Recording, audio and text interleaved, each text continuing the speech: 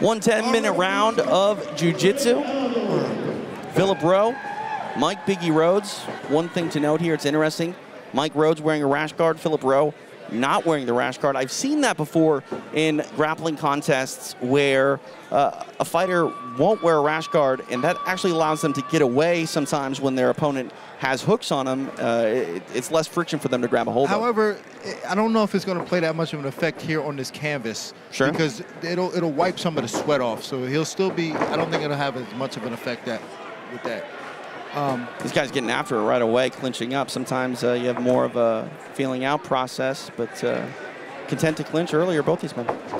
Yeah, I, you know, they're just feeling each other, seeing how strong each other, you know, seeing who's stronger in that type of situation. But um, I expect it to, at, moments, be kind of slow. I mean, I think these guys are going to try to utilize. Uh-oh. Philip Rowe, got to worry about that here. neck. He's threatening the neck. This also, could be dangerous up against the Nicely done by Rowe, able to survive that. You mentioned the, the corner there. That's not something you yeah. get all that often in a grappling match to, to utilize. Yeah, yeah.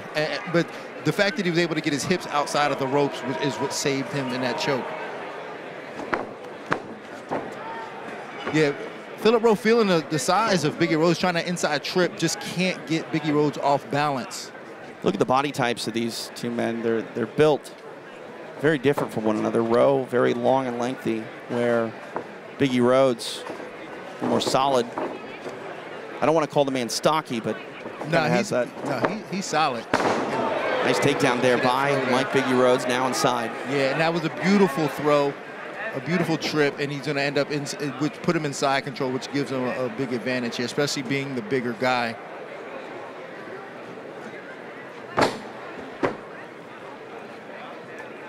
He was able to get away from those legs automatically. And you know, and but okay, so now uh, Philip Rowe puts himself in half guard, which is what he needed to do, and now, now his legs and I, like I said, his length will come into play for, at this point on.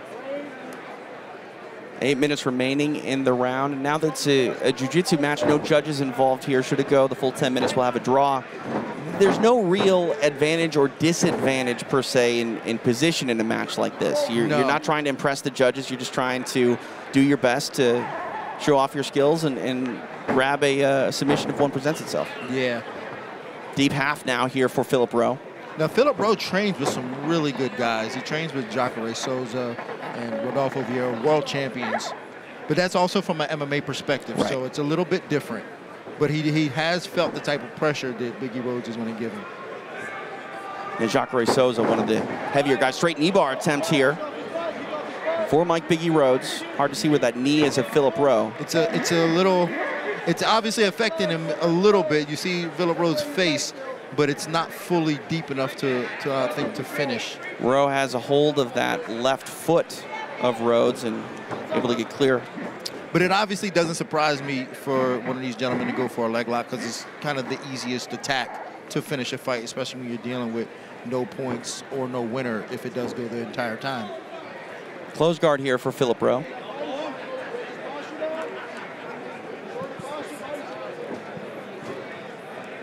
Trying to grab a hold of the back of the neck is Rowe. He bails on it.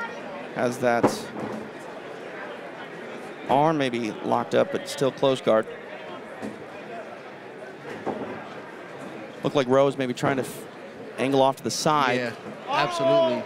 It, it's going to be, again, uh, and this is where I think the size advantage of Biggie Rhodes plays an effect because it's hard to get him off balance. Right. You know, it's, you know, and, and Rowe has to have some tricks up his sleeve to try to get him off balance. Looks like he's working a triangle, but to off balance Biggie Rhodes is going to be very difficult because he is very aware of what's going on. Not only just big, but he's very aware of what's going on.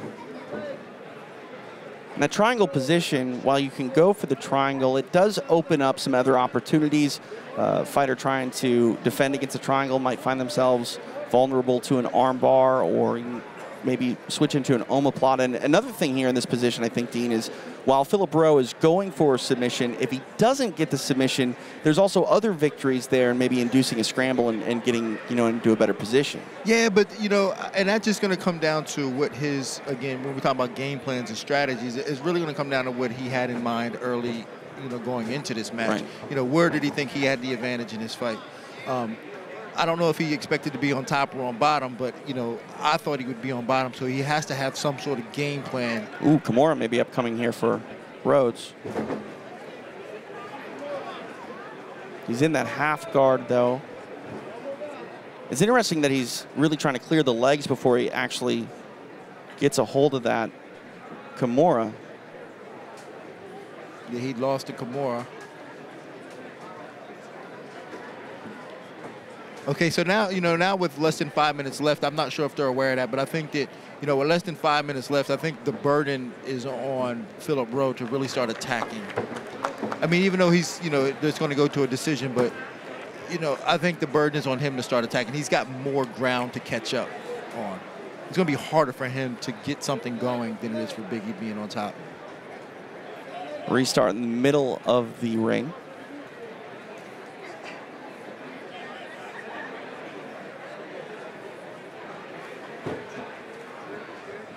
Whizzer here now employed.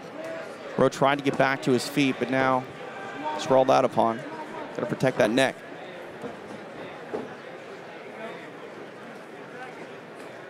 Half guard.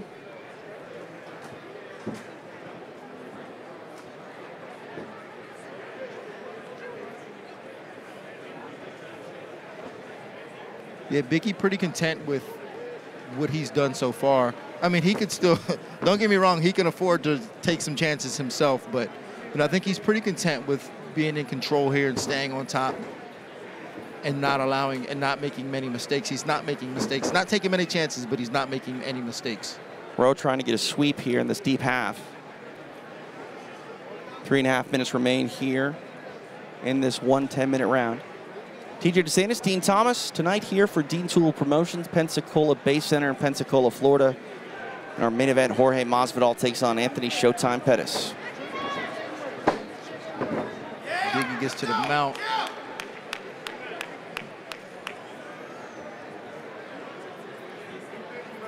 See what Rhodes is able to do with this mount. You see Rowe protecting his arms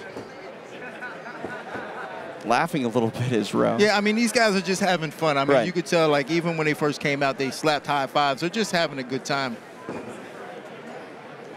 It's the gentle art. You can have a conversation when you do it.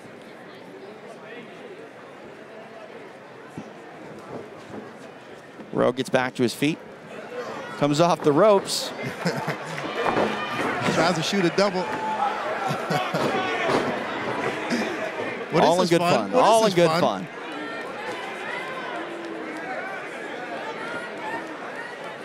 Clinched up now, Rowe put into the corner.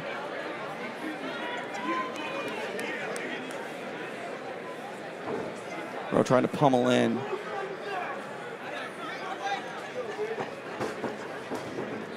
Two men disengaged, now back at space.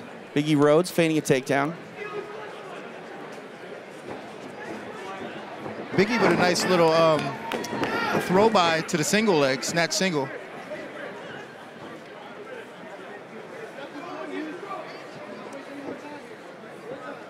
Rhodes done this a few times where he tries to get a two-on-one on that right arm of Rhodes.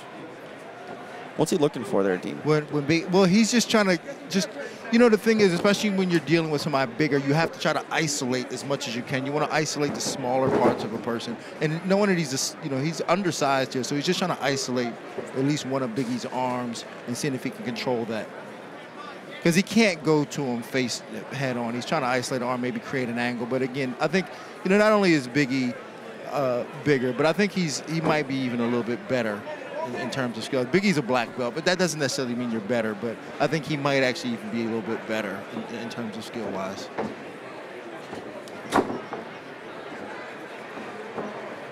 Final minute left for these athletes to work. Rowe able to get a takedown, lands inside. It's the first time we've seen Rowe really in control in top position. And that was more of a failed throw. But Rowe did a good job of taking advantage of it. And again, his length, the fact that he is so long, he was able to sprawl out and not allow Biggie to roll him. Biggie looked like he wanted to roll him, but Rowe, as long as he was, was able to sprawl his legs out and uh, maintain position. Neon Belly trying to get the mount, and uh, Biggie Rhodes able to adjust. He's in top position now, less than 30 remain.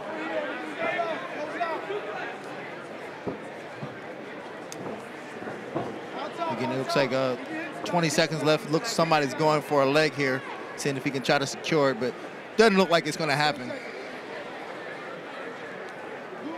Rowe wisely crossing his legs here now. Dying seconds of the match. Uh -oh. Biggie Rowe trying to get... That could be, that could be dangerous.